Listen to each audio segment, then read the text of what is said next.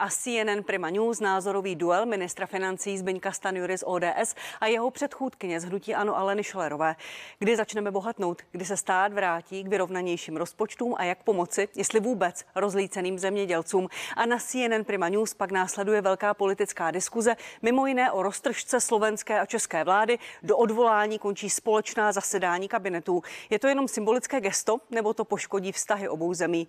A co svou zahraniční politikou zamýšlí Robert Fico? Diskutovat budou Klára Dostálová, Jan Farský, Matěj Ondřej Havel a Petr Mach. Ještě jednou vítejte a vítám i svého hosty, pan Zbigněk Stanjura, ministr financí a první místo předseda ODS. Dobrý den. Dobrý den. A paní Alena Šlerová, bývalá ministrině financí, předsedkyně poslaneckého klubu a místo předsedkyně Hnutí Ano. Dobrý den. Dobrý den a děkuji za pozvání. Já vám děkuji, že jste ho přijali a pojďme rovnou na to první téma, které jsem zmiňovala.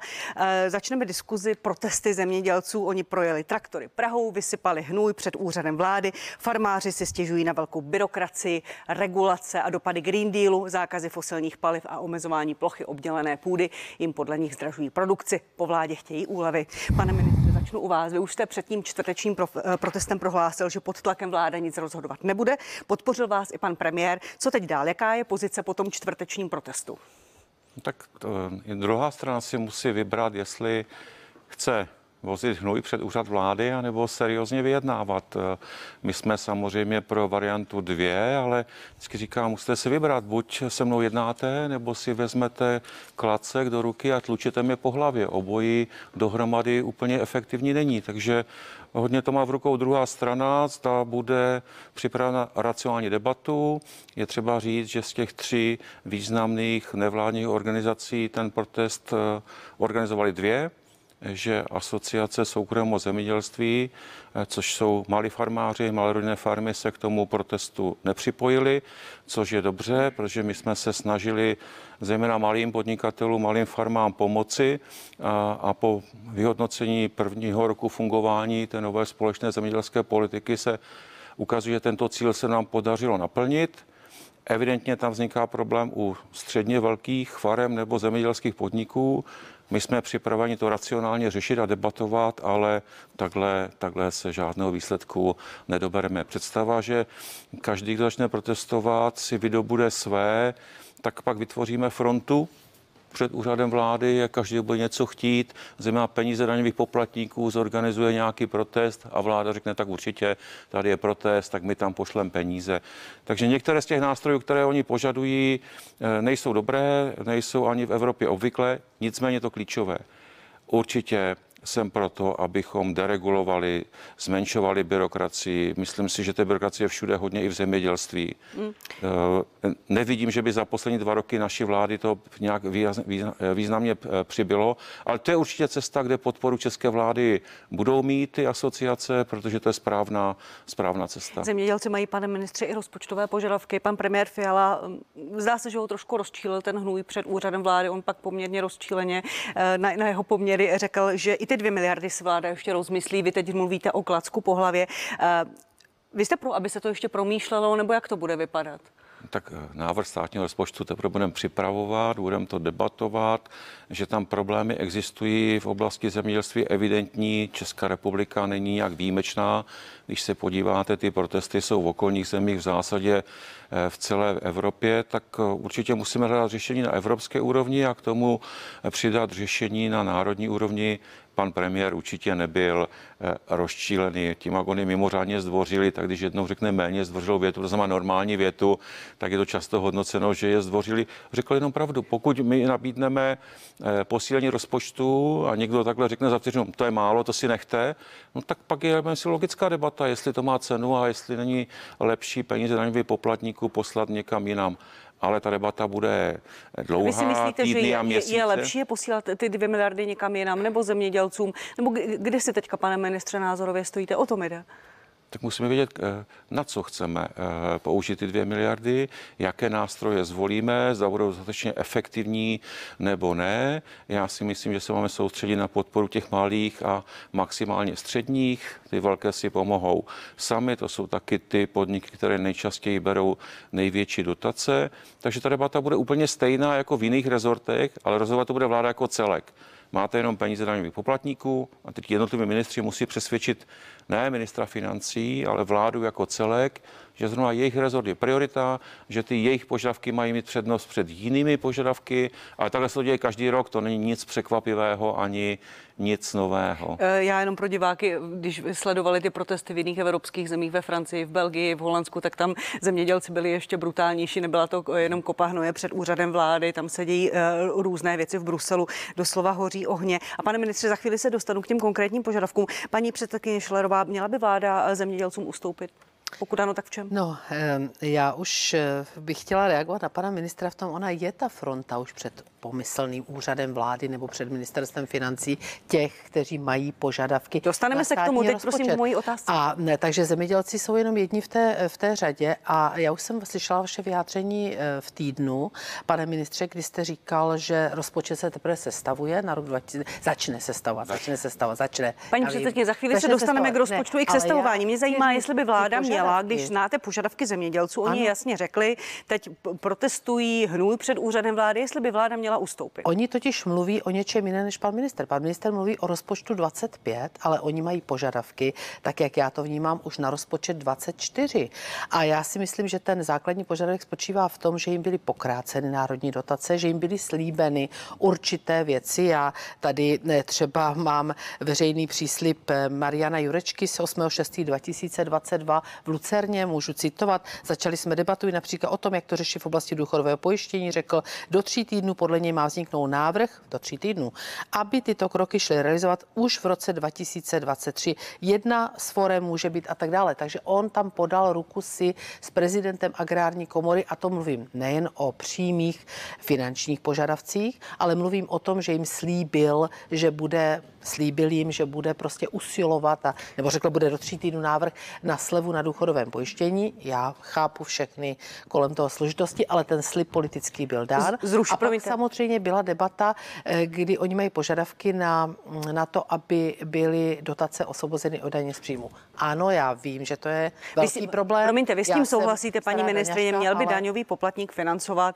zisky, pokud ty dotace jsou zisk těch zemědělských podniků, jsou to velké podniky v, v ziscích. Viděli jsme, že ty zisky rostly za poslední roky, to rozhodně nejsou prodělečné firmy.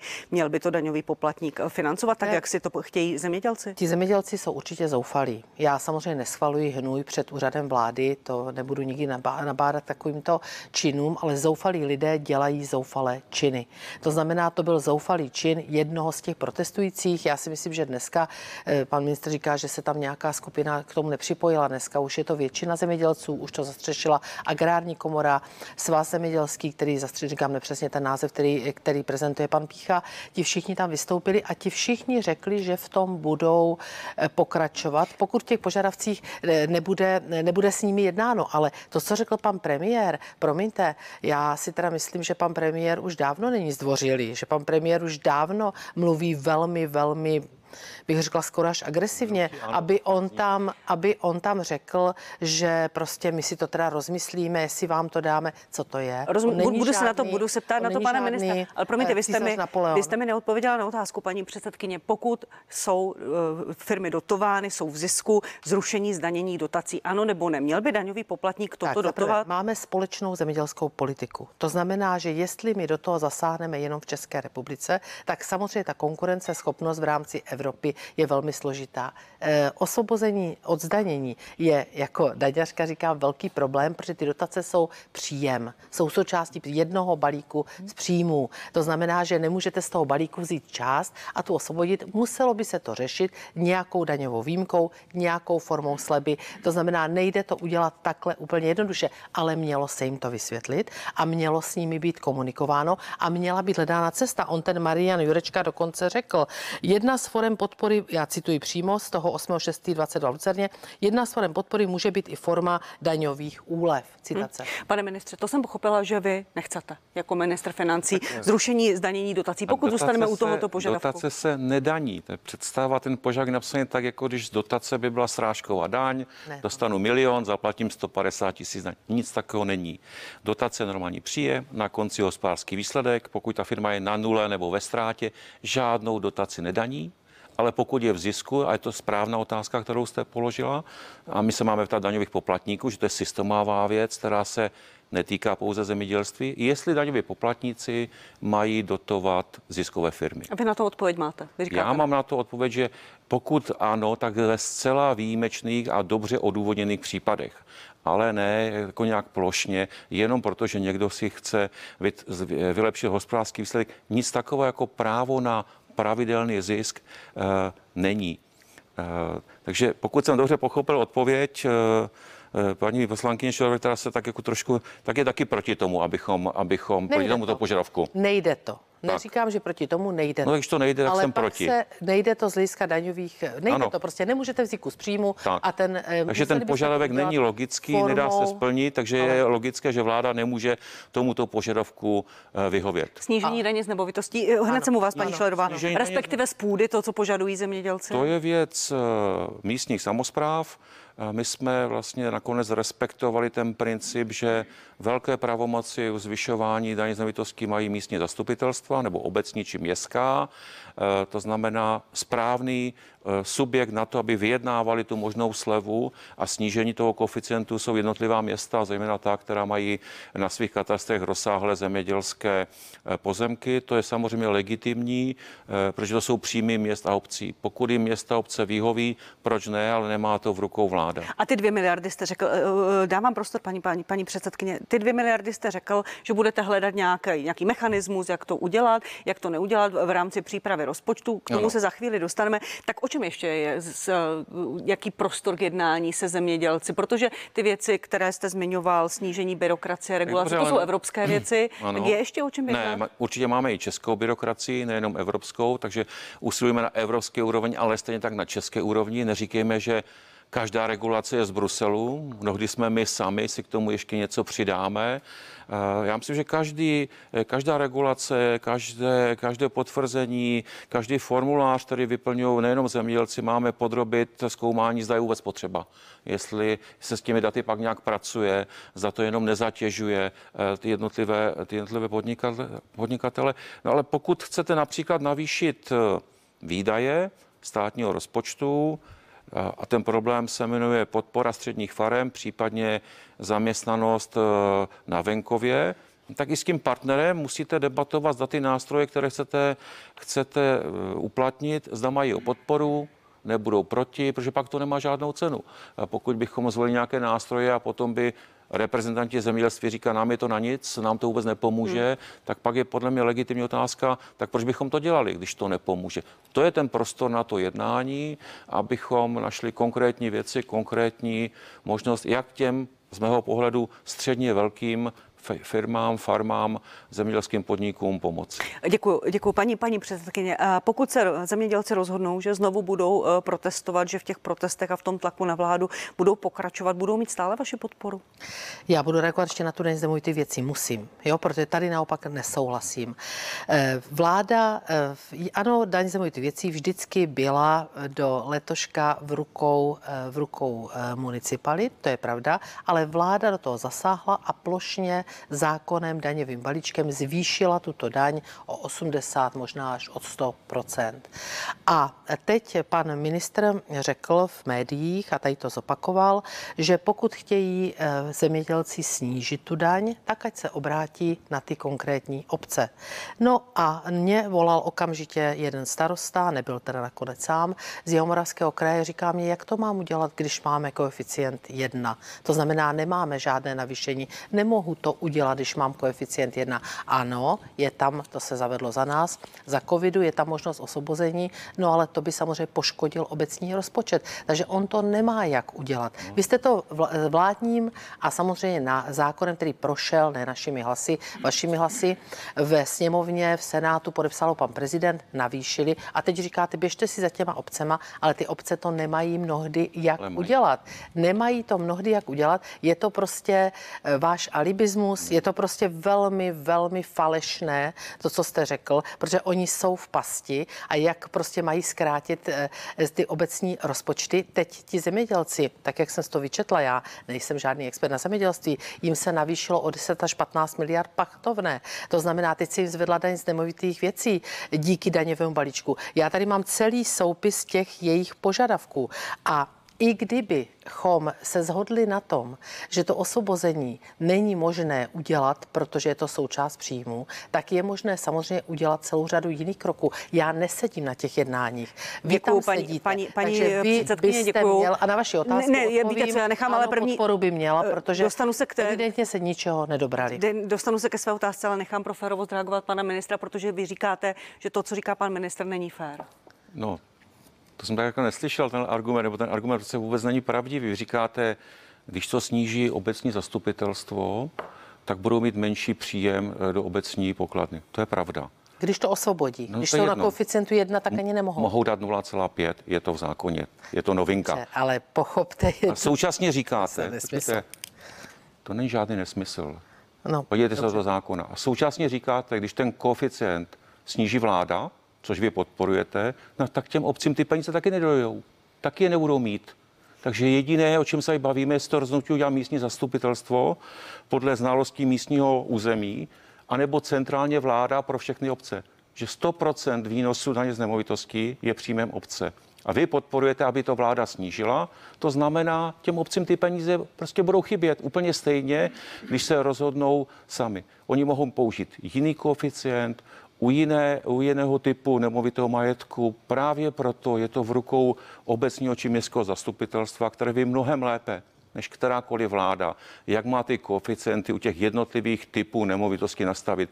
Dali jsme tam desetinky místo celých procent, může to jít směrem dolů, můžete snížit velikost obce, takže těch nástrojů je hodně, ale každá úleva, a to máte pravdu, každá úleva je ve prospěch obecních rozpočtů. Tak proč neříkají například agrární komora, my chceme platit do obecních rozpočtů méně?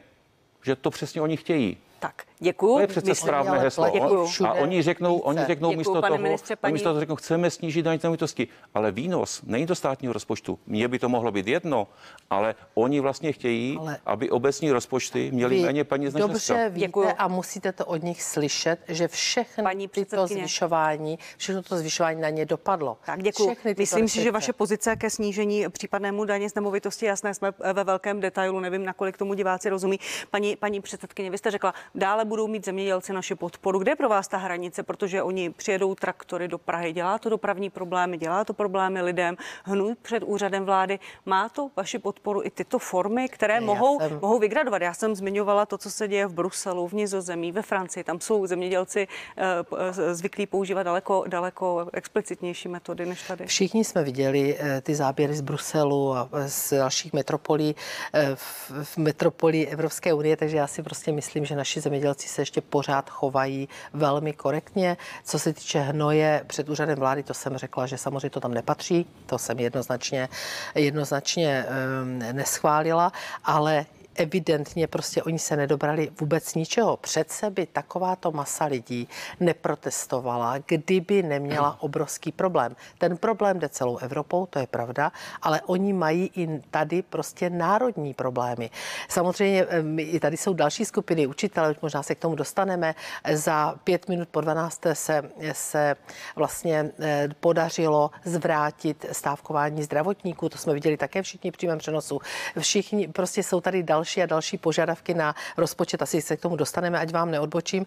To znamená, že když už tam dneska stojí v čele eh, těch protestů šéf agrární komory, šéf svazu zemědělců, pan Pícha, eh, pan Doležal, oni formulují tyto požadavky. To znamená, že tam nějaká menší skupina, říkáte, nebyla, eh, to v tuto chvíli asi není to zásadní, většina i tam je a protestuje. A já tady mám soupis těch jednotlivých jejich požadavků a nedobrali se vůbec ničeho. Co jste jim teda teda slíbili. Takže jste jim slíbili ty dvě miliardy, jsem pochopila. Tedy teď prostě pan premiér řekne uraženě, tak vám já vám je nedám, když stávkujete, když mám hnůj před úřadem vlády, tak my to dáme někomu jinému. To je prostě tak něco neuvěřitelného v demokratické společnosti, že Děkuju. takhle mluví premiér. Děkuji, paní Šlerová. Pane ministře, vláda říká, budu citovat pana Jana Doležela, prezidenta agrární hmm. komory. Vláda říká, že nebude jednat pod tlakem, ale my máme hospodařit pod tlakem těch neuvěřitelných nákladů, která nám tato vláda zvyšuje. Cituju pana Doležela. Eh, pane ministře, jste vy jako vláda připraveni na další protesty, protože zemědělci vypadají, že něco chtějí a nechtějí se zastavit? Každý má právo protestovat, mě to nijak neznervozňuje. Jestli si ale někdo myslí, eh, že změním názor, jestli tam ta kopa hnoje nebo není, je to spíš úsměvné, ale já ten názor nezměním. To není tak, že tam vidím kopu hnoje a mám, změním názor a teď říkám, teď to nepůjde. A kdyby tam ten hnůj nebyl, tak by řekl, tak pojďme hledat řešení. Prostě buď máte data, fakta, tak si řekněme fakta. Rok, zatím máme dva hospodářské roky za fungování naší vlády. Jak dopadl sektor zemědělství 2022? Rekordní zisk, sektor jako celek. Neříkám každý podnik, samozřejmě, že některé mají, eh, mají problémy. 22 miliard zisku v roce, za rok 2022 a normálně to bylo mezi 8 a 9. Za rok 2023 se to zřejmě vrátí k normálu, zase zisk sektoru jako takový 8 nebo 9 miliard. Takže tady slyším, že zoufali lidé dělají zoufalé činy. Eh, kdybych chtěl být ironický, tak bych řekl, že ten protest, že to byly přehlídka krásných nových strojů. No to je strašné. No co je jako, co je na tom to je strašného? Tak Tohle se podívejte. Řekne minister za ODS, no to je co? úplně strašný. Já když jsem to je četla to často... v titulci, tak jsem tomu nechtěla Já věřit. jsem se ptal na začátku, kdo bude moderovat, že? Já budu moderovat. Tak kdybyste řekla paní poslankyni, aby se o to Už. nesnažila, abych to připravil. Já budu reagovat potom. Strašný. Děkuji, pane ministře, pokračujte. No není to strašné. Mě psali známí ze zahraničí, kteří byli ty záběry a říká, a docela dobré přirovnání, to jako kdyby podnikatele v drahých autech protestovali před, před úřadem vlády. Já jim to nez nezávidím, jenom říkám, že vy říkáte, že zoufala situace, zoufalé činy. A já bych prosil, abyste neironizovala asociaci soukromého zemědělství. Já vím, že vás malí farmáři nezajímají. Těch je nejvíc ne na hektary, ale fyzicky jich je nejvíc. Tak neříkejte, nějaká malá skupinka se k tomu nepřidala. Jich je fyzicky eh, nejvíc a logicky si myslím, že jestli má stát někomu pomáhat, tak zejména drobným eh, podnikatelům, v tomto případě eh, drobným, drobným farmářům. Takže budeme dál jednat, pokud bude zájem na druhé straně. Pokud zájem nebude, no tak, tak ta jednání prostě probíhat nebudou a budou jenom standardní jednání o státním rozpočtu, která stejně budou brát do úvahy data, fakta, situaci na domácím trhu, evropském trhu a, a podobně. Určitě ten základní požadavek, já jsem ho pochopil jako základní, to znamená snižování byrokracie, má moji osobní podporu a podpory vlády eh, jako, jako celku. Z těch pěti požadavků jsme si už řekli, že jeden nejde, to je to, to, jsou, to, jsou, to, jsou, to je to danění dotací. Velmi problematický je požadavek na snížení sociálního pojištění protože v tom okamžiku logicky přijdou jiné skupiny se stejně dobrými argumenty a budou chtít taky snížit eh, sociální pojištění. To znamená, jenom bychom prohlubovali schodek důchodového účtu každý rok, pokud bychom jedné či druhé skupině či třetí vyhověli. Pokud máme vést vážnou politickou debatu o snížení sociálního pojištění, tak ji, tak ji veďme o tom, jestli máme na to, abychom plošně snížili sociální pojištění, které je v České republice skutečně vysoké. To je pravda. Tak děkuji, pane ministře. Paní, paní Šladová, vy jste, eh, když jste panu ministru skočila do řeči, říkala jste, to je hrozné, že toto hmm. říká pan, pan eh, ministr za ODS. Pojďte v té argumentaci, prosím, pokračujte. Se omlouvám za tu emoci, že jsem skočila do řeči. Budu disciplinovanější. No, pane ministře, já, když jsem to četla někde v titulci, tak jsem tomu nevěřila, protože člověk nemůže věřit všemu, co si přečte. Říkala jsem si, to by nějaká desinterpretace, že by ministr financí, politik za ODS, pravicový politik. Já jsem to řekl poprvé. Pravicový politik, tak, ale by já jsem to už četla, tak to řekl někdo z vašich kolegů. To nevím. Tak je to možné. Četla jsem o těch drahých traktorech, že přijeli s drahými traktory. Možná to byl pan premiér, nevím, skutečně nevím. Nevěřila jsem tomu. Vy jste to tady zopakoval. Vy byste měl mít radost, že má mají nové traktory, protože díky Bez dotací, ním ano, to oni, oni díky teď zaskáčete mi mě do řeči, tak mě to, jste mi to vrátili, to jedna jedna, beru to tak. Čili Eh, vy říkáte, že byla velká ziskovost. No proč byla velká ziskovost? Byla taky extrémní inflace. To znamená, oni měli také obrovské nárůsty cen. Je potřeba se podívat, jaký z toho, jaké z toho měli marže a o tom mluvili už moc krát. To znamená, vy byste přece jako minister financí notabene za ODS, notabene takzvané pravicové strany, jak to pořád říkáte, vy byste z tohohle měl mít radost a ne mluvit. Já si připadnu, jak bych tady opravdu slyšela, jak kdybych tady opravdu slyšela, i když jsem slyšela vašeho pana premiéra mluvit eh, toho, eh, toho vysokého pohlavára UVKSČ, jak tenkrát běhala byla Nechte ta nahrávka. Prote- vy jste Nechte urazil si před ty urážky. mě. Vy jste urazil mě, Nechte řekl si jste, ať urážky. neorganizuju protesty. To si vyprošu. Já Tak žádné protesty Tak, pojďte. Dě- děkuji, pojďte Takže reagovat. To, co vy Počkejte, říkáte, a počkejte, ještě k těm, počkejte, ještě paní, paní Šlerová, je, ne, ne, ne, ne, ne, ne, jsme tady, jsme tady v nějaké diskuzi o tom, jestli mají zemědělci, mají, mají uh, mít nárok na dotace. Ten biznis v zemědělství je je specifický v České uh-huh. republice. Od osiva hnojiva, produkci potravin, poskladování, to ovládá pár velkých holdingů. Uh-huh. Agrofert je největší. Uh, mě zajímá, jestli, znovu ta otázka, jestli mají daňoví poplatníci uh, dotovat zisky těchto velkých firm, uh, protože v zemědělství sektor zemědělství byl ve vysoké ziskovosti. Padl Agrofert, teda z vašich úst, tak aspoň to takto. eh, Já se obávám, No to je- jestli, to je- to je jestli fakt. Já- zemědělci já to nespojuju teď s jasně. Babišem, ale to je prostě Eh, fakt. Jestli zemědělci nedoplácí tady na Agrofert a na nenávist vůči Andreji Babišovi ze z hlediska eh, z, od vládnoucí reprezentace, tak ať se zruší dotace, ale na úrovni Evropy. Ať se zruší ta společná zemědělská politika vůči ale všem zemím. Přece nemůžeme tady o tom mluvit jenom v České republice a já vůbec nikoho tady nepreferuju. Já prostě my jíme díky tomu i tam v, v kantýnách a podobně a my, my jíme díky těmto zemědělcům, díky jejich práci, díky jejich dříně. Já bych chtěla vědět, kdo z nás by to chtěl dělat. Nikdo by to nechtěl dělat. A jestliže jste, já tady mám ty jejich, oni tady říkají nesplnění slibu, nesplnění slibu. Já vím, že je to složité, že to prominutí sociálního pojištění udělá díru do systému. Jsem bývalá ministrině financí. Chápu to, proč jim to váš vicepremiér a koaliční partner Marian Jurečka rukou dáním slibuje. Se ptejte Přece ruko, no já vím, ale je to váš partner, sedíte na jedné vládě, sedíte tam vedle sebe, tak se o tom určitě bavíte, účastníte se všech těch jednání. Já jsem na žádném nebyla, já čtu jenom to, co je ve veřejných zdrojích. děkuju, paní Takže já se předsedkyně. ptám, dáte jim aspoň ty dvě miliardy? Dě, děkuji, počkejte, počkejte, jestli dovolíte, jenom doplním. Přehlídka krásných nových strojů byla slova premiéra Fialy Aha. ten den Aha, toho tak protestu. A pak tady byly nějaké výroky, které pan, pan premiér říkal, že část, demonst, část protestujících demonstrací eh, a organizátoři se kloní Rusku, Rusku a tak dále. Je ta komunikace šťastná, pane ministře? Já jsem říkal, kdybych chtěl být ironický, Ale řekl jste to potom, tak jste asi chtěl být. no ano, tak eh, použij tohle. Já bych byl nadšený, kdyby tam byly žádné dotace a podnikatele by měli takové hezké nové stroje bez dotací. To bych byl nadšený. Ale já jsem chtěl reagovat na něco jiného. To jsem teda fakt jako nezažil jako ekonomickou argumentaci. Oni měli vysoké zisky, protože byla vysoká inflace. No to je, to je úplně neuvěřitelná. To je úplně neuvěřitelná. Já jsem taky neříkal, že jste organizovali protesty. Já jsem se ptal, kdo bude organizovat naši debatu tak nevím, co jste slyšela. Já jsem nikoho neobvinil z toho, že organizuje protesty zemědělců. Ani vás ne, ani hnutí ano.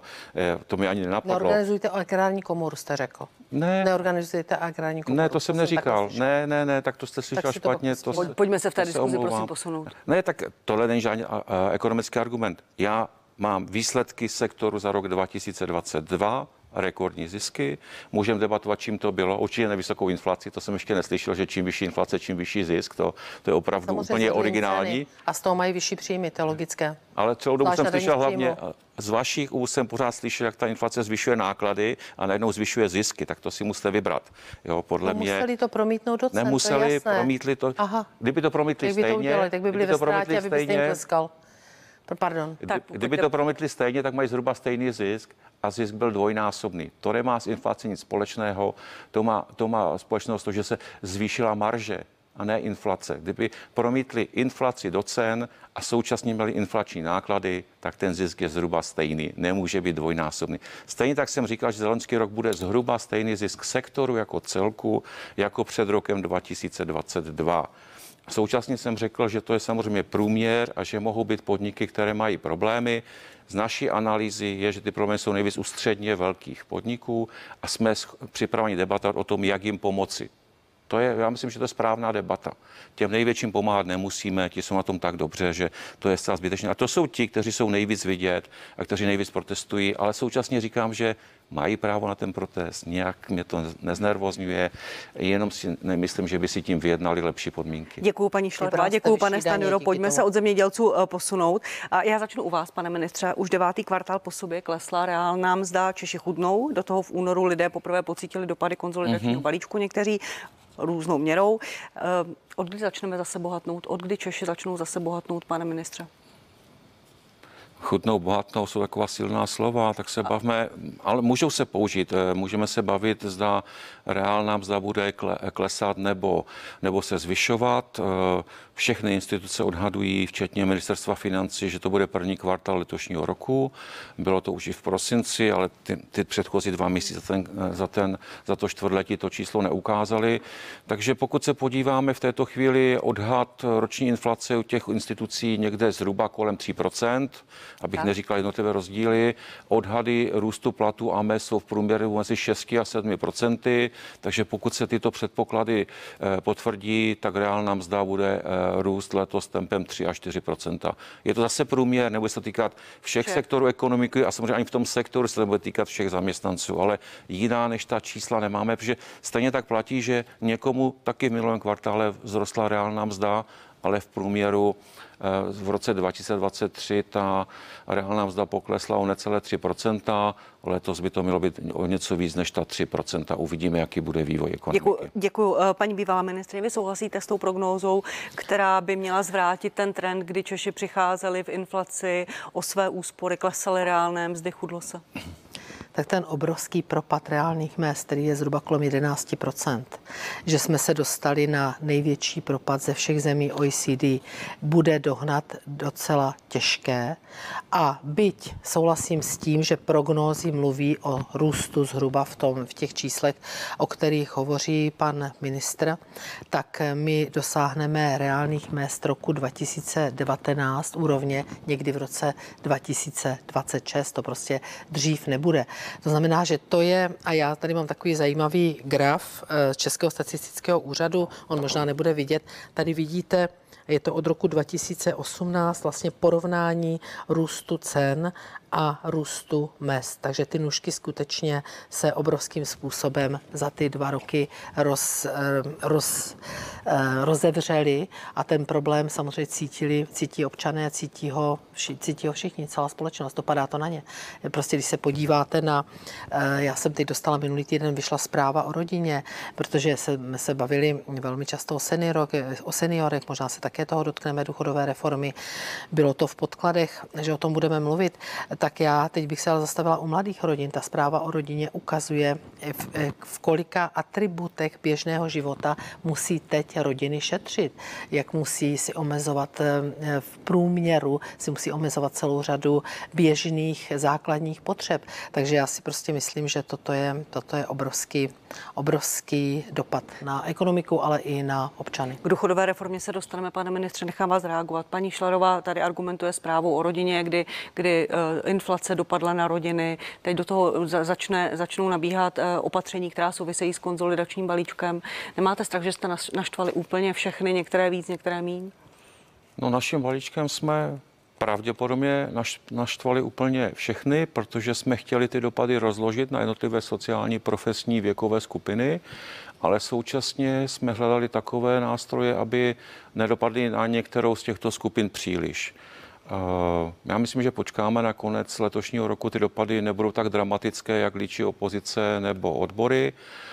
Já velmi často používám v debatu tady s paní eh, Šilerovou, počkejme, čas nás rozsoudí, protože nemá cenu si říkat, jaké ty dopady budou.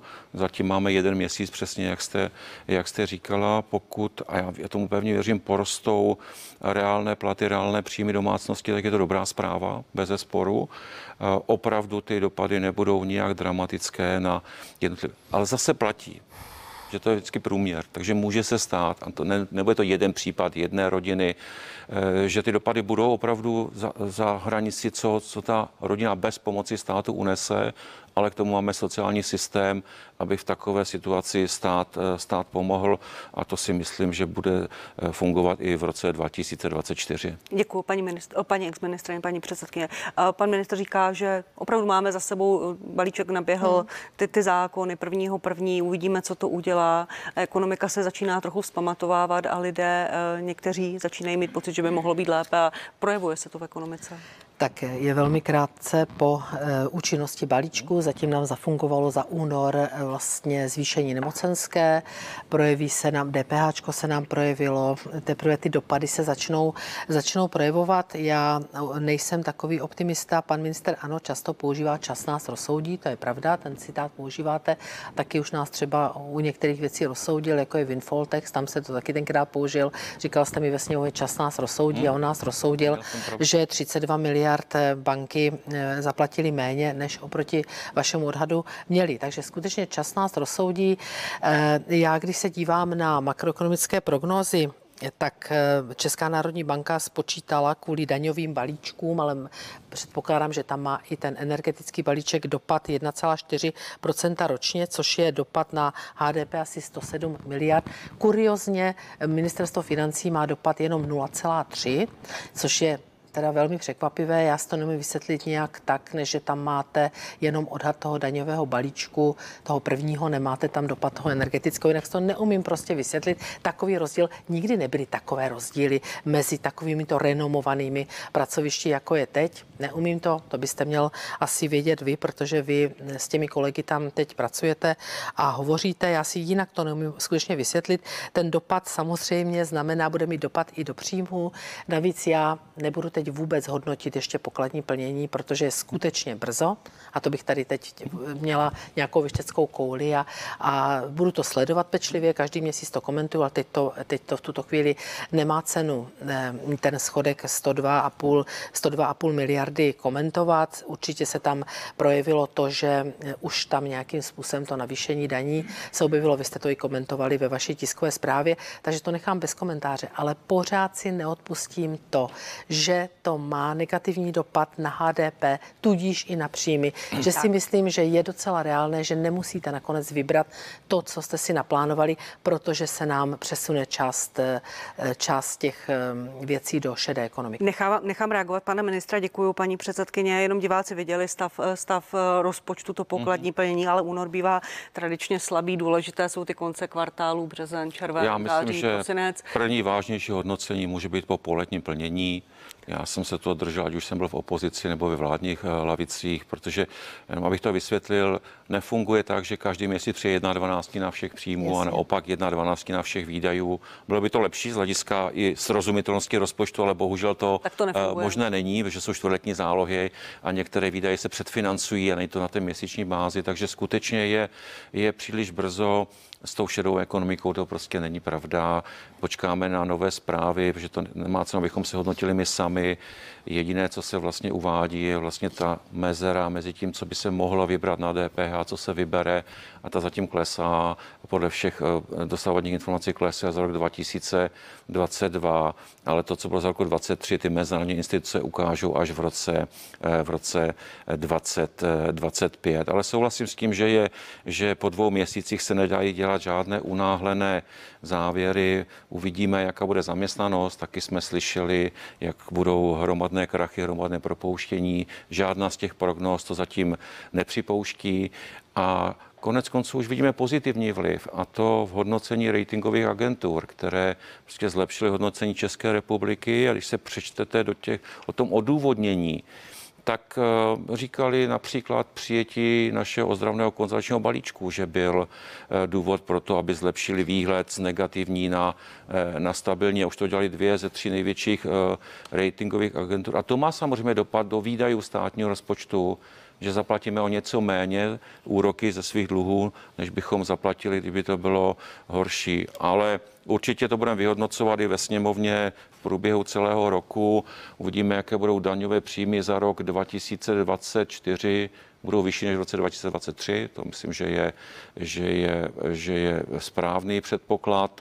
Bude trošku jiná struktura, a, ale zatím nic nenasvědčuje tomu, že bychom neměli dodržet plánovaný rozpočet, plánovaný, eh, plánovaný deficit. 252 miliardy korun o 37 miliard méně. Děkuji. Nechám vás ještě reagovat, paní Krátce předsedkyně.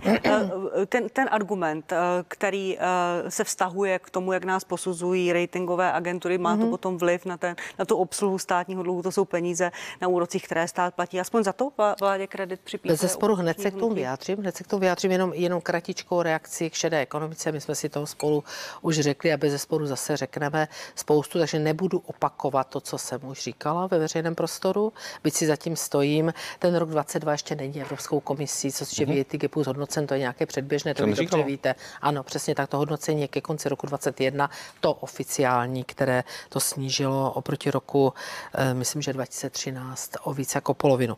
Ale já bych si dovolila citovat eh, tady nejcitovanějšího českého ekonoma Tomáše Havránka, který nárůst šedé ekonomiky odhaduje až ke 3% HDP. On říká něco mezi dvěma, třemi procenty HDP.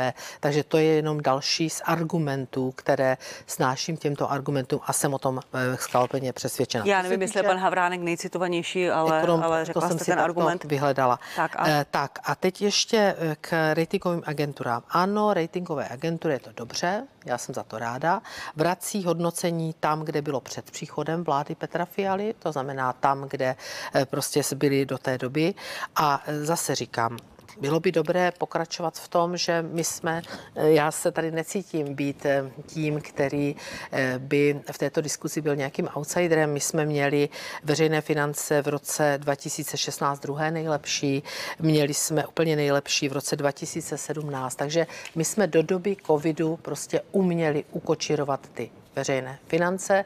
Určitě zazní argument, který jsem slyšela od pana Niedermayera minulý týden, že to bylo v době konjunktury, ale já na to zareaguju. Ano, byla to konjunktura, byla to celá řada i našich opatření. Zareaguju, kolik bylo vlád ODS, které vládly v dobách konjunktury, v dobách, kdy byl větší hospodářský růst, ještě než ten, který jsme zažili my. A kolik ministrů financí mělo vyrovnaný rozpočet? Ano, byl to Ivan Kočárník. To vám přiznám. Pak už nikdy nikdo. Divá, diváci viděli schodky státního rozpočtu od roku 2012. Pane Mitře, nechá vás reagovat, pak položím otázku. Tak jen to byla řečnická otázka, kolik vlád bylo ODS konjunktury. Já to vím.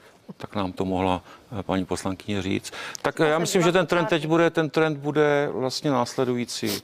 Eh, a je to vlastně trend od té doby, co jsme, co jsme nastoupili. Eh, loni byl čtvrtý největší deficit, eh, letos bude pátý nejvyšší deficit, šestý, takže postupně budeme ty deficity snižovat. Je to ten klíčový předvolební slib, který jsme dali, že dáme do pořádku veřejné finance. Problém, který jsme sdělili, jsou mandatorní výdaje, protože kdyby v covidu byly jednorázové výdaje, tak to ano, ovlivní ty covidové roky. Odchodem covidu by se to neprojevilo v hospodaření. Sami vidíme, jak je to složité.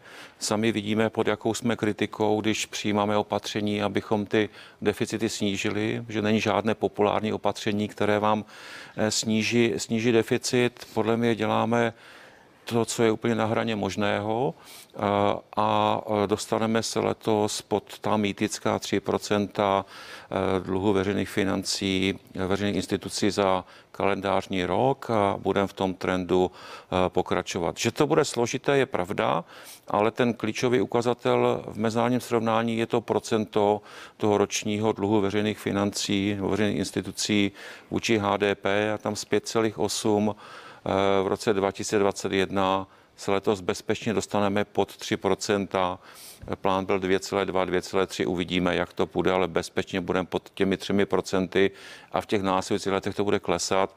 A to je jeden z důvodů, proč ty ratingové agentury zlepšily hodnocení České republiky.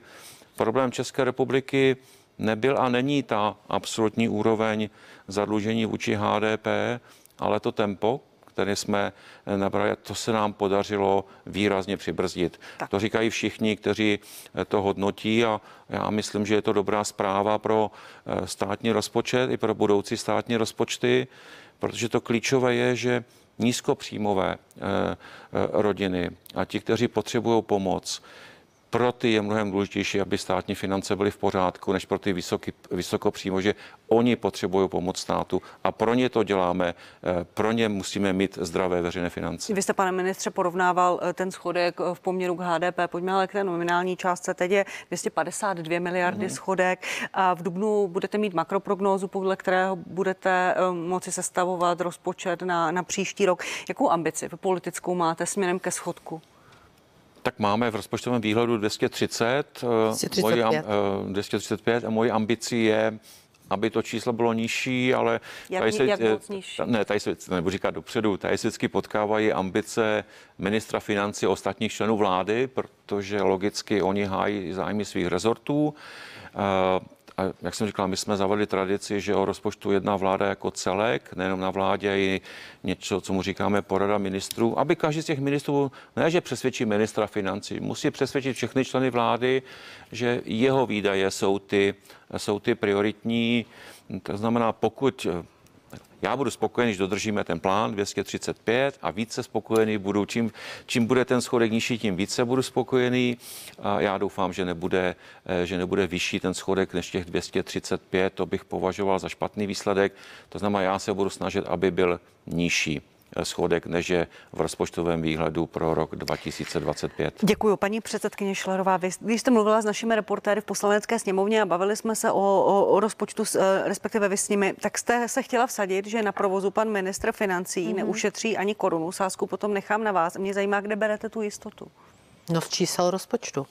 Eh, pan ministr hovořil o tom, teď je 252, plánovaný schodek na rok 2024. Nezapomínejme pořád na tu mimo rozpočtovou půjčku, která je vůči SFDI a měla být součástí schodku, takže bychom byli zase na úplně jiném čísle. Bylo by to 270, což je ten strop, který může být podle zákona o rozpočtových pravidlech. Na rok 2025 ve střednědobém výhledu je 235 a 26 je tam 220, pokud se nemýlím. Ve střednědobém výhledu, což je tempo, které navrhovala i naše vláda. Zhruba toho půlprocentního bodu, my bychom možná byli někde v roce 25 kolem 200 miliard, ale co je zatím? Zatím je jenom zvýšení daní a zpomalení valorizace důchodu. Já jsem kritizovala za to, že provozní výdaje vzrostly. Tato vláda letos bude mít neu, o neuvěřitelných 714 miliard vyšší příjmy, než jsme měli my v roce 2021. O 714 miliard vyšší příjmy. To znamená, a na to, když se podíváte na ten provoz, tak ten provoz jenom narůstá. Myslím čisté provozní výdaje.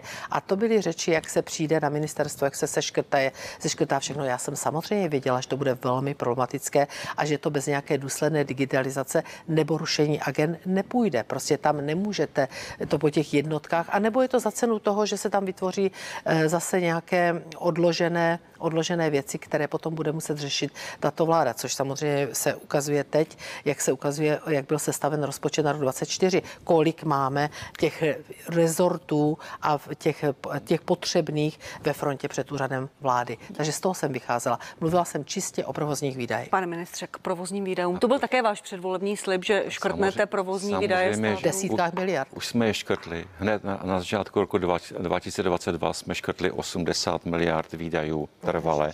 Na to, se, na to se zapomíná v těch debatách. Škrtli jsme je. Eh, postupujeme takhle úplně stejně. Jste zase. Pardon, já to řeknu potom. Děláme, je to vlastně nekončící proces. Já myslím, že máme pořád hlídat provozní výdaje, pořád obracet peníze daňových poplatníků a říkat ano nebo ne. Současně jsme kritizováni, tak nevím, jestli říkáme uši provozní výdaje, to jsou energie a podobně. Tak všem ostatním rostly energie a státu ne, to je logické, že rostly a teď zase jdou dolů, takže, eh, takže opravdu snižujeme, eh, snižujeme provozní výdaje. Pokud si vezmu širší provozní výdaje, což jsou výdaje i na platy, tak tam jsme zamrazili objem. Velká kritika z opozice, že ten objem není vyšší, on x procent, ale současně říká, tak nesnižujete provozní. No snižujeme, samozřejmě, protože jinak, eh, jinak by ty deficity byly mnohem, mnohem vyšší. A pak je taková ta debata, jestli některá, některá eh, z akcí je, je provozní výdaj nebo investice, je to klasické u dopravy, kdy na začátku se odhaduje a dělá to státní fond dopravní infrastruktury a říká, to zjednoduším, budu mít 90 miliard investic a 60 miliard provozních výdajů. Ale ta oprava cesty by se taky dala klasifikovat jako investice jenom z účetního či ekonomického hlediska, je to provozní výdaj. Takže bez detailního rozboru jednotlivých kapitol, tady nemáme prostor, ale já jsem pro, ať to uděláme, tak jsme schopni jasně demonstrovat, že razantně snižujeme provozní výdaje státu. Je jasné, když to děláte třetí, čtvrtý rok za sebou, že ta úspora už není tak vysoká jako první rok, protože šetříte poprvé, po druhé, po třetí a pak už se dostanete nějaký limit, kde už ty úspory takřka nejsou možné. Vždycky stát může šetřit, může být úspornější, ale už to nebudou takové desítky miliard. Děkuji, děkuji mnohokrát z časových důvodů. Pojďme se posunout ano. do toho detailu k důchodové reformě, jak eh, tady už několikrát zaznělo. Tuto diskuzi eh, rozsoudí potom čas, eh, při, když budeme znát návrh státního rozpočtu. Důchodová reforma. Prezident Petr Pavel chce svolat jednání mezi vládou a opozicí o změnách v důchodovém systému. Pane ministře, vy jste proto, aby se našla schoda s opozičním hnutím, s opozičním opozičními hnutími o tom, jak bude vypadat ta, ty, ty změny, protože by se pak mohlo stát, že to dopadne jak s důchodovou reformou vlády Petra Nečase. Sociální demokracie slibovala, že ty změny ruší, lidé tomu nevěřili a pak to opravdu vláda Bouslava Sobotky zrušila. Tak samozřejmě je lepší, pokud ta podpora změn v důchodovém systému je širší než konkrétní vládní koalice. To eh, nevím, na tom není nic překvapivého, ale musí chtít obě dvě strany. A v této chvíli se omlouvám, není jeden koncept vlády, vedle toho druhý koncept opozice a teď bychom vedli, dejme tomu, detailnější jednání, v čem se můžeme inspirovat jedna či druhá strana, jestli ty, jestli ty návrhy se dají přiblížit nebo ne. Z mých informací je koncept vlády a potom ne, ne, ne, ne, ne ze strany hnutí ano a žádný konkurenční projekt konkurenční představa, jak by to mohlo být ne v paragrafovaném znění, to nikdo nechce, ale v tom politickém zadání, co by se v tom systému mohlo změnit, neexistuje. Takže mě jednání, já ta jednání samozřejmě vítám, pokud budou, ale pokud mají být jenom to, aby někdo říkal ne, ne, ne a vlastně tak bychom jednali ještě tak ty dva roky, než skončí volební období a ne, neudělali jsme nic, to by bylo stejné jako za vašich dvou vlád. Měli jste x komisí, x eh, vyjádření, jak je třeba něco udělat a neudělali jste nic.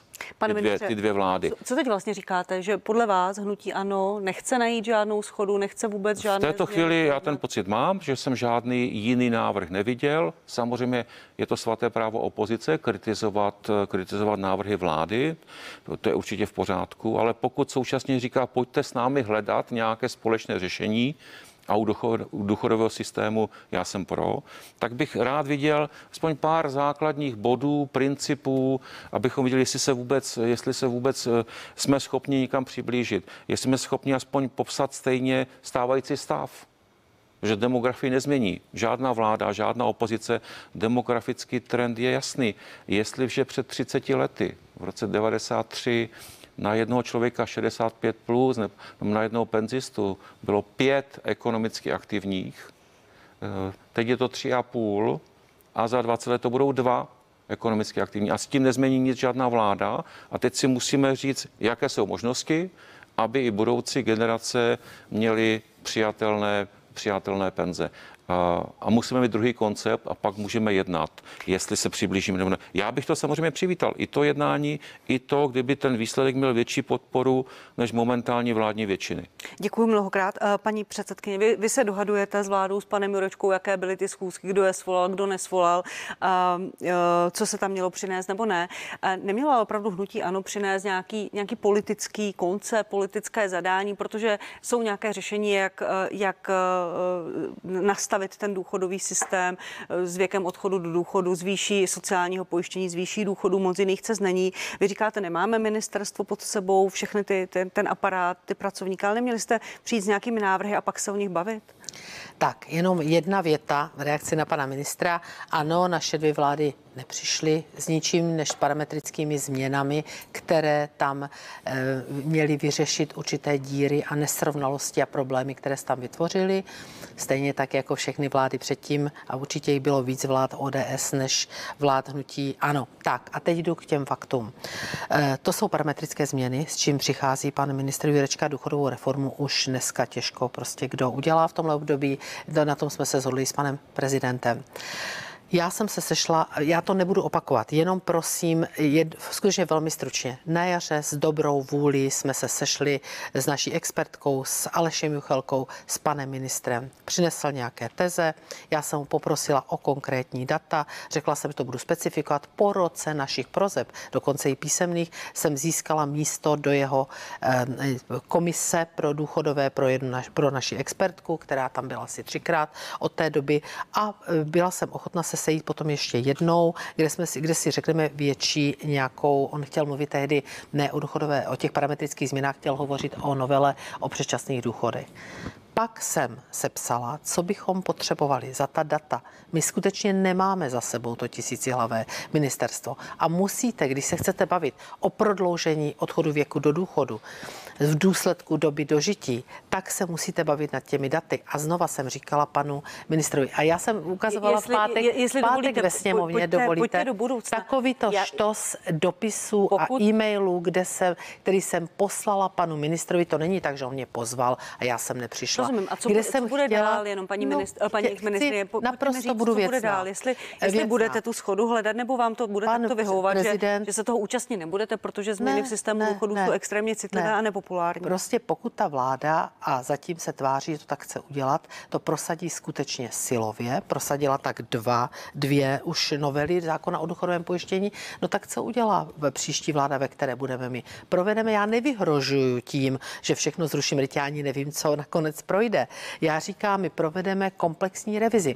Teď má po pěti letech, říkala jsem to panu prezidentovi, má být představen materiál o udržitelnosti důchodového systému. Každých pět let. Hmm. Naposledy byl v roce 2019, teď bude na jaře roku 2024. Vláda ho bude muset schvalovat. Tak na něho počkejme, tam budou konkrétní Rozumím. data, budou Děkuju. muset být. Z časových důvodů řada poslední, věcí. poslední Nebo, reakce. Promiňte ještě Počkejte, jednu věc. Počkejte, paní předsedkyně Šalerová, máme posledních 30 Celou řadu ještě věcí pan, pan minister Stanjura. představil před týdnem. Je to úplně Vůbec. jednoduché. Osm let jste vládli, všechna data máte, maximálně se k tomu přidají dva, dvě, dva roky, které jsou po vašem odchodu z vlády. Demografii víme desítky let, jak se bude vyvíjet počet obyvatel, průměrný věk, kolik bude ekonomicky aktivních.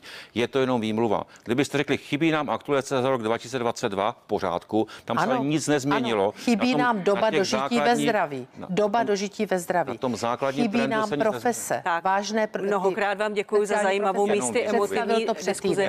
Alena Šlerová, Nechcete se domluvit, byli mými hosty. Nechcete o tom děkuji, mluvit. Děkuji mnohokrát. Naschledanou, pane ministře. Naschledanou, paní Děkuji za pozvání hezkou neděli.